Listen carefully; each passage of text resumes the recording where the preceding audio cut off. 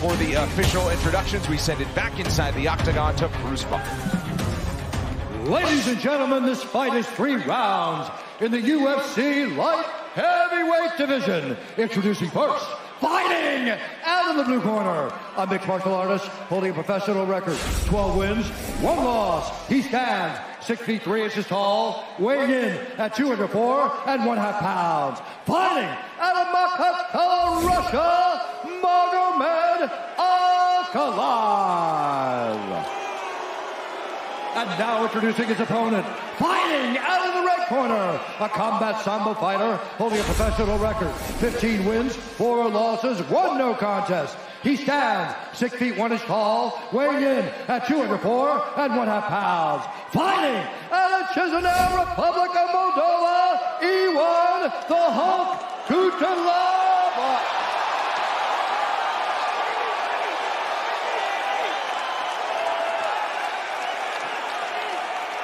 And the action begins, our referee in charge, Kevin McDonald. Kevin McDonald's got his work cut out for him here. Stay back, guys. Out. We're good here. It's like, listen, guys, you're going to get to fight in just a second.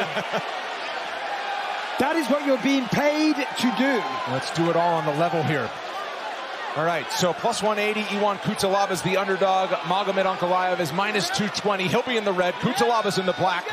Got all of that out of the way. Here we go. I mean, you've got to deliver after that now. Cuțelaba starts with a low kick. I mean, I don't care how composed you are. That has going to be a little nerve-wracking.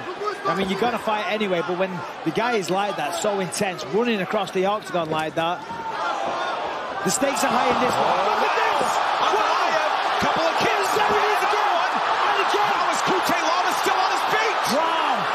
Three head kicks in a row. He's out on his feet. Wow! And he stops it, and Cuțelaba disagrees. Kevin McDonald stepped in. I get security in there for Kevin McDonald's safety. Oh, it's face to face right now. Man, Kevin McDonald stopped it. Cuțelaba was on his feet.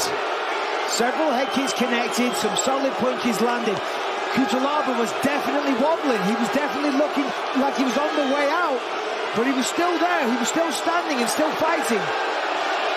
And also immediately protested. Immediately. Had his wits about him enough to know what happened and to know to disagree vehemently right away. I mean, let's take a look here. Comes in, gets caught with the two hooks, waits for the first head kick. I mean, he's wobbling. That one didn't quite connect. Throwing back. That one to the body. And still, he's hurt. Blocks that one. Came in with an overhand, didn't connect. He's wobbled here. He's wobbled, but he's still fighting. He's still in the fight. His body language doesn't look good, but nothing is connecting. He may have been rope open, maybe trying to play a little possum. Who knows? That one connected, and the referee dives in. All right, let's take a look in real time.